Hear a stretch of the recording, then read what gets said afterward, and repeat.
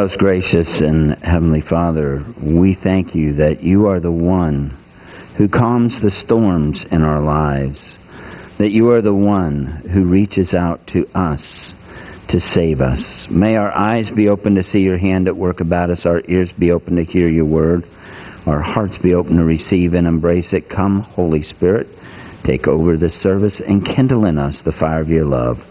We pray these things in the precious name of your Son, our Lord and Savior Jesus. Amen. Please be seated. Well, good morning.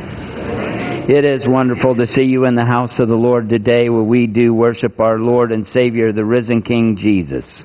And He is glad that you are here today in His presence. He is glad that you're here today to worship Him. I don't know how many of you have ever started on a journey and wondered, what am I in for? Why did I do this? Was I crazy? I mean, we go on those journeys sometimes, don't we? We get started and then we get this great amount of doubt in our heads.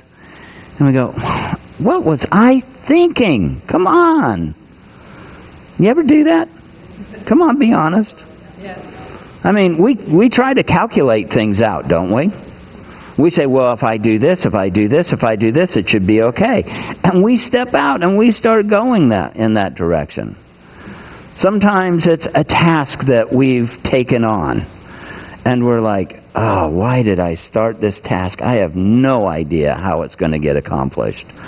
Or somebody asks us to do something with them, and you're like, oh, man, I could have been doing something else.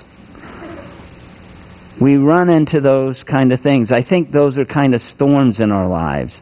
We run into that perception of, why did I even think about doing this? There's other times that we may start on a journey and all of a sudden something around us goes awry. Now, y'all know that we get a little bit of rain here in Florida, that's right?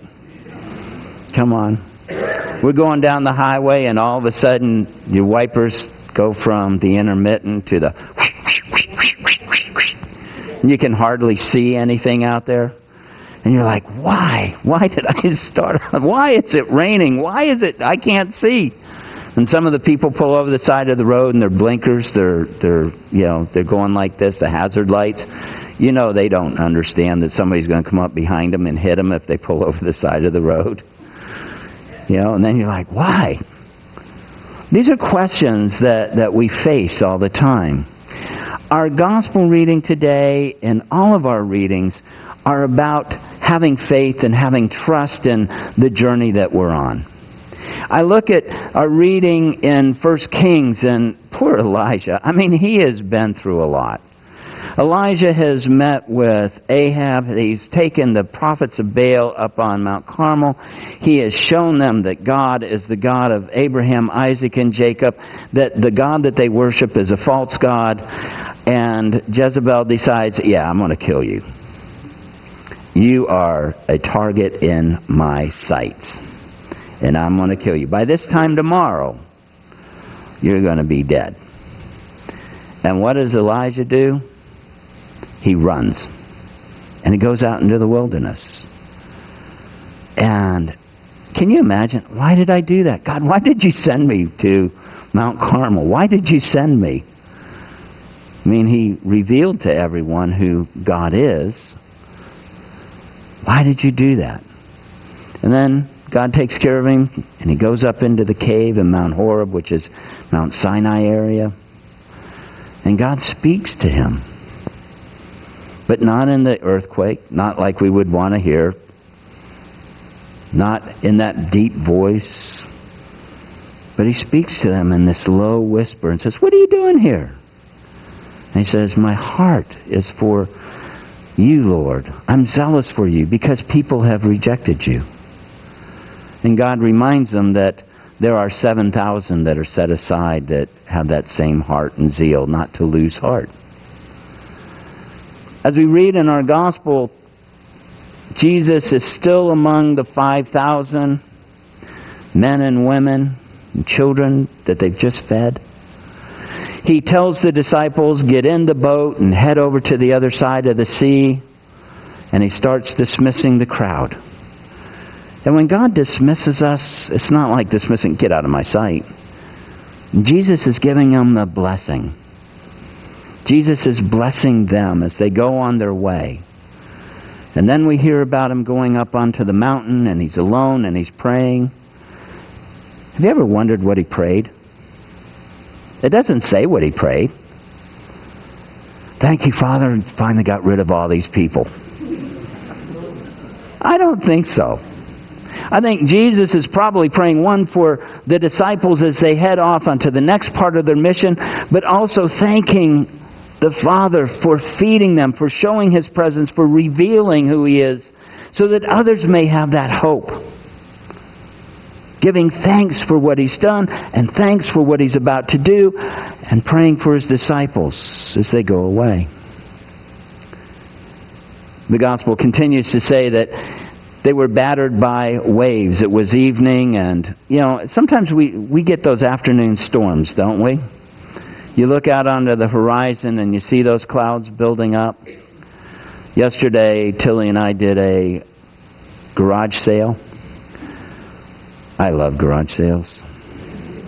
I'm glad confession is a little later. But in the distance in the afternoon, we heard this boom. And you're like, oh no, We've got all this stuff out on the driveway and we're going to have to get it back in. So we closed everything down. Well, the same thing happens on the Sea of Galilee. It's down in this valley area, and storms build up, and they come rushing down into over the sea. And just like we get storms on the Indian River, and we get storms here and there, these are what this is what the disciples are facing this huge storm and they're being battered by the waves. But you know what? I don't think they were afraid of that. They're fishermen. Remember, Peter, James, John, and Andrew all were fishermen. They would have been out and used to that kind of weather, trying to batter it, trying to batten down the hatches, whatever it is. But they knew how to control their boats during that time. It was difficult, yes, because the wind was against them. They probably had to tack through everything so that they could make it through.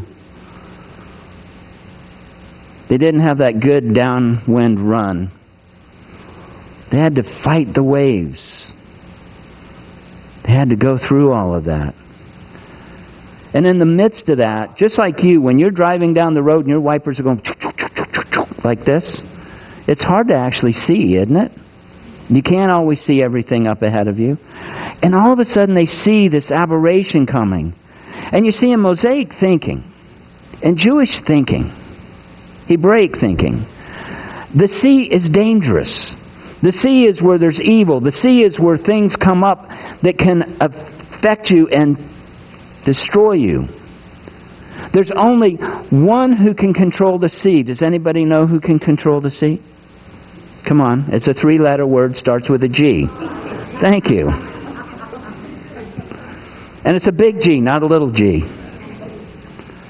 Remember, the Israelites came up to this Red Sea. They were fleeing from Egypt. What could they do? Nothing. There was the perils. And what did God do? He parted the Red Sea. What happened when Paul was headed off to Rome? The sea came up.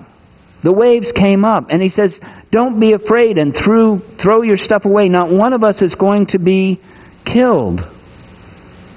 It's in Acts 27 if you're curious. And they threw all the cargo over, and the next thing you know, they were on shore in Malta, and not one had lost their lives. Jonah, how many remember the story of the big fish? All of a sudden, the waves came up.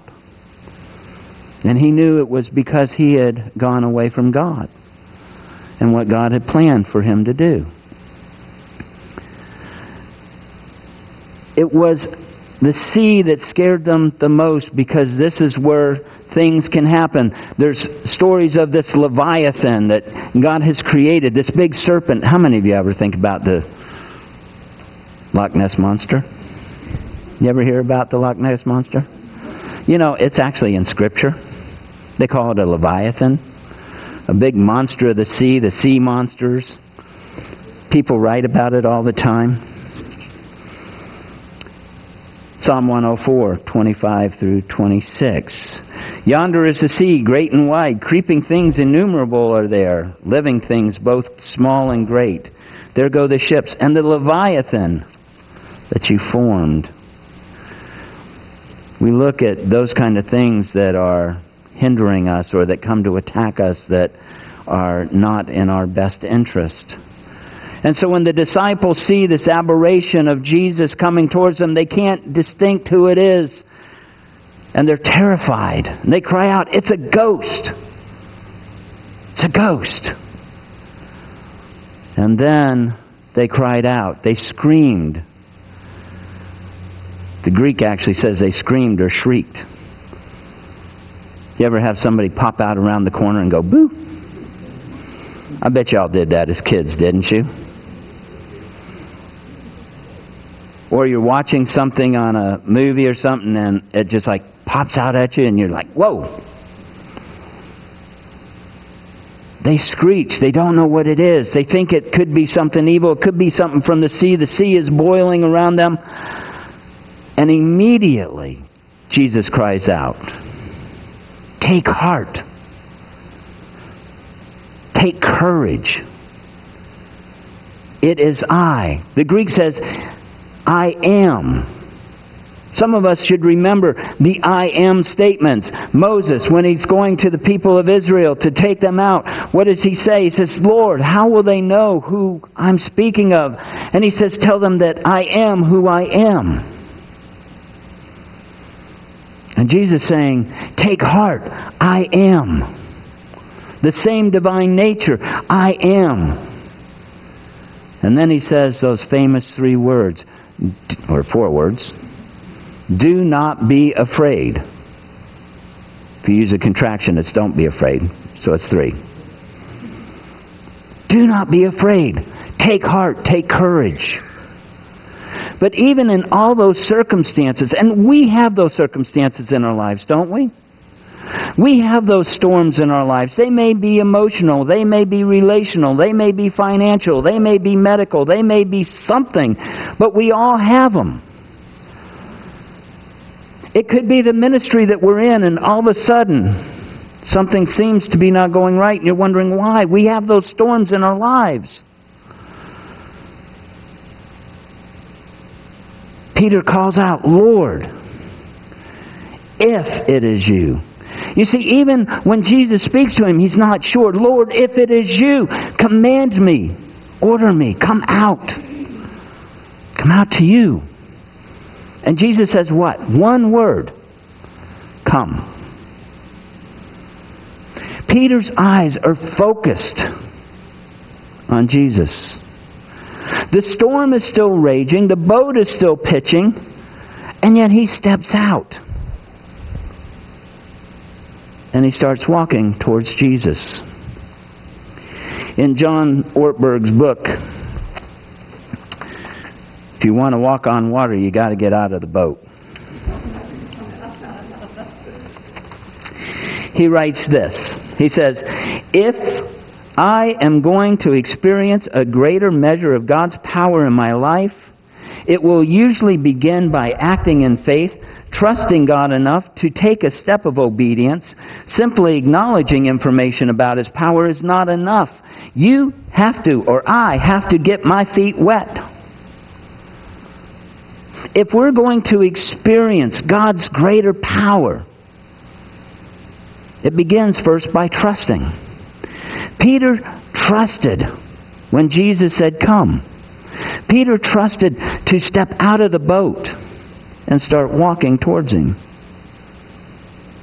It's sometimes we get started that way. And then all of a sudden we see the things around us and he felt the blustery wind and goes, What am I doing? He has that little bit of doubt. But you know what? He never lost his focus. Because once he realized that it's him that's doing this, he refocuses on Jesus. Lord, save me. Lord, save me. And Jesus looked at him and said, Sink or swim, buddy. No, he didn't. Jesus reaches out and grabs his hand and walks with him back to the boat. And immediately, when they got in, the waves ceased. And all the others said, Truly, you are the Son of God. Because it is only God who controls the sea. And he knows, they know, who he is. You see, I think we're no different than the disciples. I think we're no different than Peter. I think we all have the same attitude. Lord, I want to step out of the boat and do something. And then once we get out there, we're like, what am I doing here? Rather than keeping our eyes focused, saying, Lord, help me. Help me. No matter what we're facing, sometimes we get that doubt in our minds and we forget, and we need to just keep our eyes focused on who He is and what He can do. We allow fear to drop into our lives. Let me read you something about fear. This also came out of John Ortberg's book. But I think they're poignant thoughts for us. Living in fear keeps us from experiencing our God given potential. What if Peter never stepped out of the boat? He wouldn't have experienced the power of God, recognizing his own limitation. Living in fear destroys our joy and robs us of life's delights. There are things in my life that sometimes I'm like, oh, Lord, thank you for the joy. There are things that are purely joy in my life. They bring joy to my life. I'm not going to let fear destroy that. Living in fear destroys joy and robs us of life's delights. Living in fear causes us to focus on the negative. Living in fear creates a loss of intimacy between us and other people. We become afraid to say what we think or feel, afraid of the pain of conflict. Living in fear causes us to believe that God, get this, living in fear causes us to believe that God can't, won't, or take care of us. We lose sight of God's presence in our lives. We think, how can He do this for us? How can He be with us? God wouldn't do that for me living in fear, we separate ourselves of what God's power is. Living in fear, this one's precious. Living in fear limits our hopes, our dreams, and our calling. Peter recognized Jesus. He stepped out of the boat in confidence. The storms came up about him. And he put his focus back on Jesus and said, Lord, save me. We are called into ministry. We are called to be the light of the world. We are called to shine our light. We are called to share Jesus' joy. We're called to share the gospel.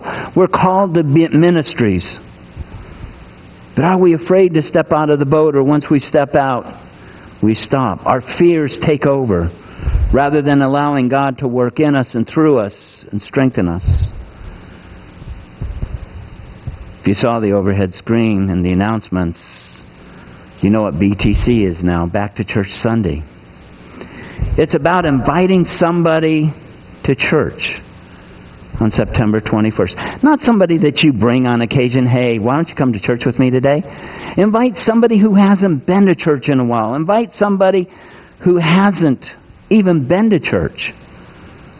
Because church is about community and it's about our relationships and it's about doing things together. It's about family.